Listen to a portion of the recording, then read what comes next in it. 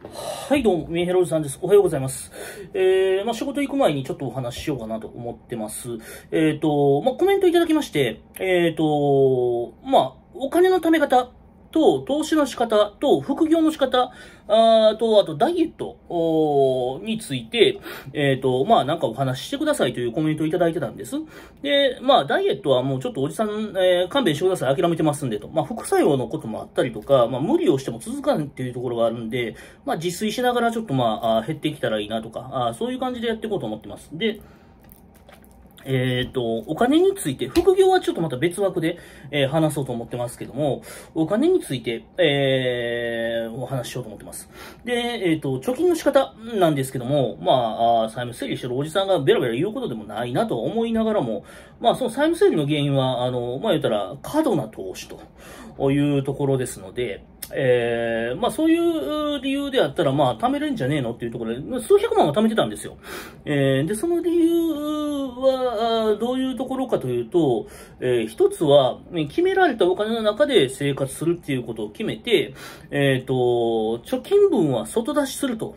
いうふうにやっております。まあ、実は、あおじさんは、あまあ、退職金は退職金であって、で、それとは別に DC っていうんですね。えー確定拠出年金やってますと。で、えっ、と、それが会社から5000円、私から5000円という形で、えー積み上げてますと。で、今150万ぐらい溜まってるんですね。多分ね、えっ、と、運用としてはまあいい方だと思います。あの年利6%で回してるんで。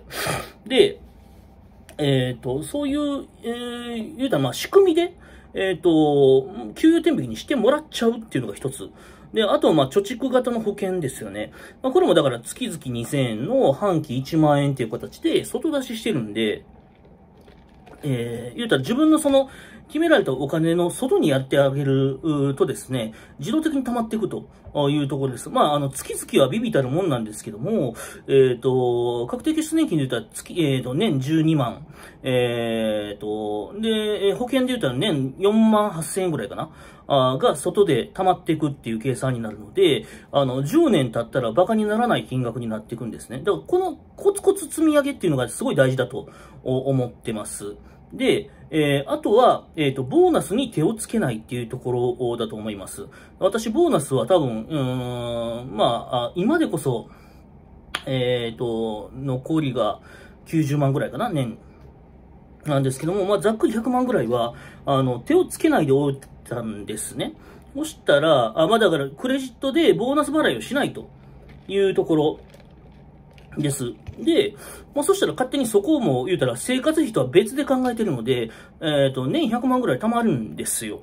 えー、まあ今、その債務整理の関係で、えー、じゃかじゃかお金返しているのと、あの、まあキャバとか言っててお金貯めてないんですけども、まあそれをしなければ基本的に貯まるんですよ、というところなんです。で、えっ、と、まあ、あーそれで多分年、なんぼ ?120 万ぐらい貯まりますかね。なので、えっ、と、まあ私多分40ぐらいで借金全部返すんですけども、そこから60までで2000万ぐらいは手元で稼げるわけです。えっ、と、と、退職金が僕今、底辺の、えー、言うたら支給額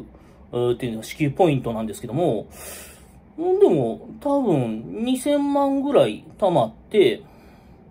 DC が、まあこれは運用次第なんですけど、多分1200、300から、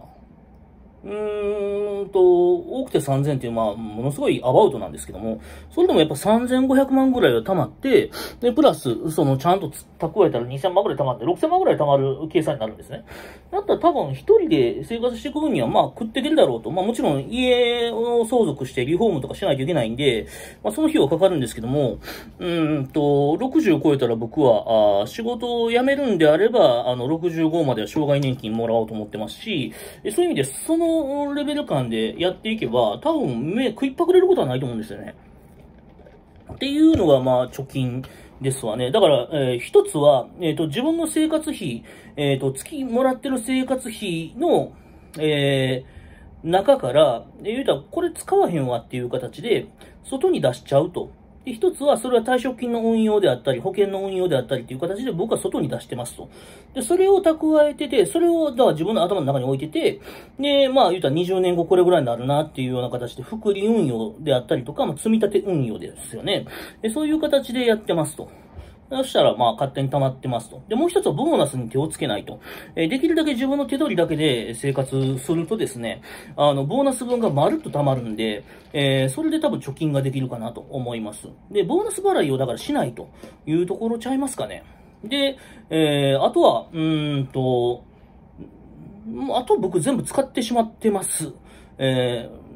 って感じですかね。まあ、だから今、債務整理中なんで、もう何度も言いますけども、あの、ちょっと使い方が違ったりとかするんですけども、うんと、まあ、あそんなところですかね。うん。で、まあ、あの、ストレスを溜めないっていうところですかね。あの、月々5万、6万貯めますって言ったら結構ストレスかかるんですよ。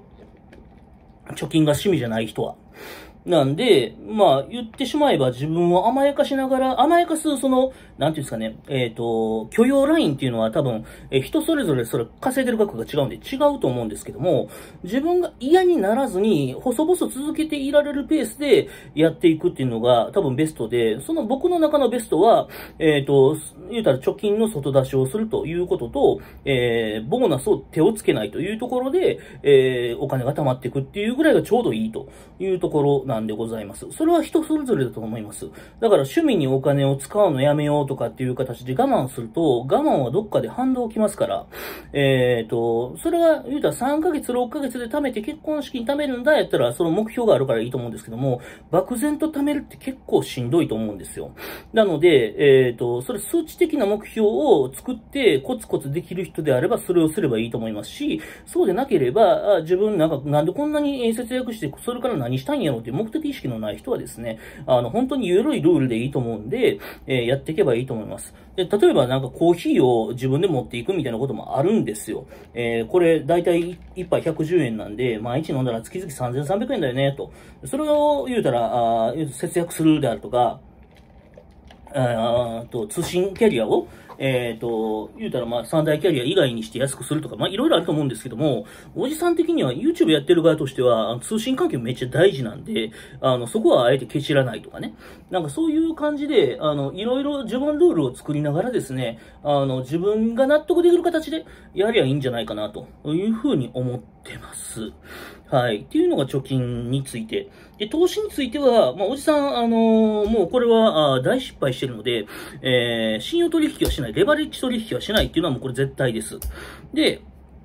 あとは、あのー、まあ、投資商品で言うと、えっ、ー、と、手数料の低い投資信託のインデックス型を月々積み立てるか、えー、配当金あるいは株の集体がある、う言うた超大手の銘柄を少しずつ買っていくと。100株ずつ買っていって、リスクヘッジしながらやっていくと。いうのが、えー、と、投資としてはいいと思います。それは、まあ、主に日本株と米国株でやっていけばいいん。じゃないかなと思います。で、米国株を買うにしても、言うたら、為替リスクがあるので、それなら、えっ、ー、と、米国株を中心とした投資信託を積み上げるっていうのも一つかなと思いますし、えー、そこのところは、まあ、人それぞれかなと思います。で、えっ、ー、と、そうやって100株ずつ持っていくと、あの、なん。ていうん。ですかね、えっ、と、経済ニュースとか結構読むようになるん。ですよ。自分の、言うたら持ってる株についてもそうですし、え、だから持ってる株の株の、株種類がね、少なければ、あの、見る視野が狭くなるんですけど、いろいろ持ってたら、あのー、結構ね、えー、気になることが、あまあ、多々出てくるんですよね。そういう意味で勉強も兼ねていっぱい持つっていうのは一つかなと思います。まあ、把握しきれないほど持ってどないすんねんっていうところもあるんですけども、大体予想外のところで株が上がったり下がったりっていうのが、まあ、世の常なんで、あの、広く浅く張ってしまうっていうのが一つかなと思います。で、おじさん自身は2000万、3000万、あの、言うたら一つの銘柄に突っ込んで、大株主になってやろうかなっていうところもあったりですね、まあ、上場企業の役員怒鳴り散らしたりとかしてたんで、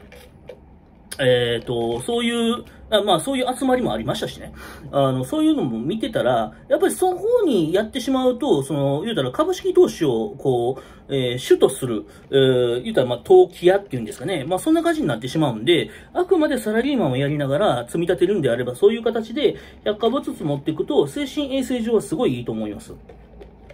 で、えー、上がると分かった時にそこにドンと貼ればいいんで、あの、なんていうんですかね、現金とその株式の比率であったりとか、そういうのを気にしながらでもいいと思いますし、あるいは、えー、全部買ってしまって、配当金をさらに積み上げるっていうか、配当金をさらに投資する、えー、っていう形でですね、やっていって、えー、まあ年間配当10万円入ってきたらだいぶ生活変わってくると思うんで、えー、そういう貼り方をするというのも一つかなと思っております。はい。あの、まあ、そこはだから株の好き嫌いにもよりますよね。えー、株投資信託の好き嫌いにもよると思うんですけども、まあ、そんな感じでいいんじゃなかろうかと思います。不動産に関しては、私はあんまりお勧めはしないんですけども、えっ、ー、と、宅建を取ってですね、自分で何かしたいとか、あと DIY が好きですとか、田舎暮らし好きですっていうんであれば、えー、そういうのを楽しむ意味で、えー、中古の物件とかを買ってガチャガチャやるっていうのは一つかなと思いますけど、タワマンに住むとか、まあ、特にワンルームマンションの投資であるとか、あそういうことはお勧めしないですというところでございます。まあ、こんな感じでどうでしょうかというところでございます。以上です。